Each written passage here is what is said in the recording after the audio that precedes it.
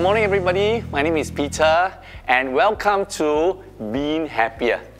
Okay, I just want to mention a few things before we start the program. What we are sharing today is not from my personal wisdom, not from what my mother told me, uh, it's not my, my experiences in life, although these are very important for us to learn how to be happier. But very importantly, what I want to mention is that today what I'm going to share is the science behind all these things. So I want to mention, first of all, that I have a Bachelor of Science uh, in, in psychology, and this is Bachelor of Science, not Bachelor in Arts, uh, science. I want to mention science because what we're sharing is robust science. All right, and after my Bachelor of Science uh, in psychology, I did a graduate diploma in positive psychology.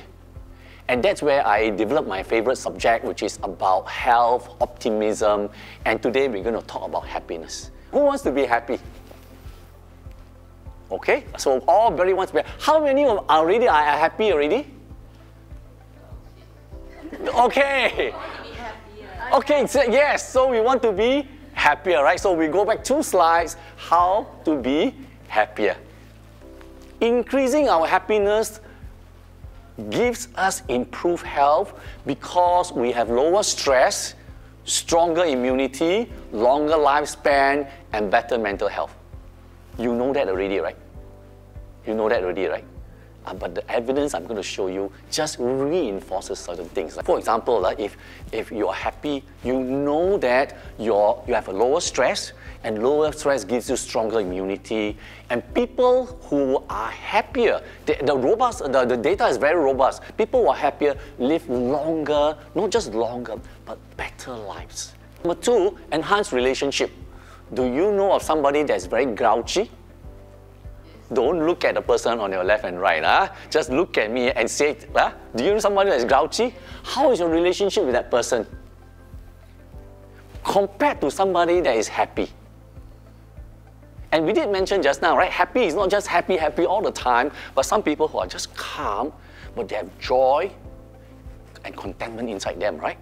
All right. And so, people who are happier, you build better relationships with them and because you are happier, people have better relationship with you as well. All right. And the third one, and, and sometimes CEO uh, ask me, you know, hey, Peter, why should I need to make my staff happier? Well, uh, increased productivity and creativity. When someone scolds you, you become guarded, you will close up. When you are happy, you will open up and you become more creative. Right? So this uh, is our learning objectives. We just want to be happier, and they will give us all the benefits that come with being happy. So what are we going to cover today? Again, I'm going to emphasize the part that we are talking about science. And what is happiness? What is happiness? Jolene? I would say like contentment. Contentment. And what is happiness to you? Stephanie? Peace. Ah, peace. Right? And so, see, all of us have a different idea of happiness, and frequently we relate happiness to an emotion, right?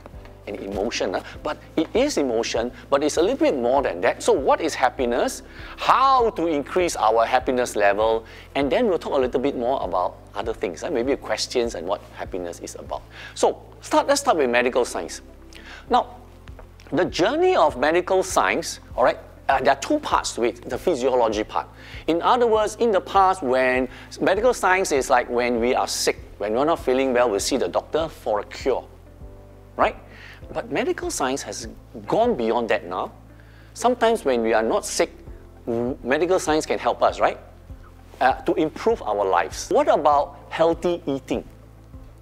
Exercise, what exercise works, what exercise doesn't work, right? So even though we are not sick, medical science has come in a way to help us improve our lives. It ranges of everything, huh? how they look, how they think, having a lifestyle, right? So this is a physical part, right? For psychology, the same is happening for the last 30 to 40 years from, from being uh, used to cure people to making their lives better. So in the past, when a person has PTSD, all right, uh, post-trauma stress disorder, or, or maybe they have uh, have uh, ADHD, maybe they are depressed. So you see a psychologist or a psychiatrist, right, for help. And so when your neighbor hears that, hey, uh, hears that uh, another neighbor has gone to see a psychologist, what are you thinking?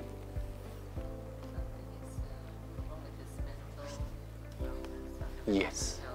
Yes. And then there is a stigma, right, to people seeing a psychologist or a psychiatrist, right?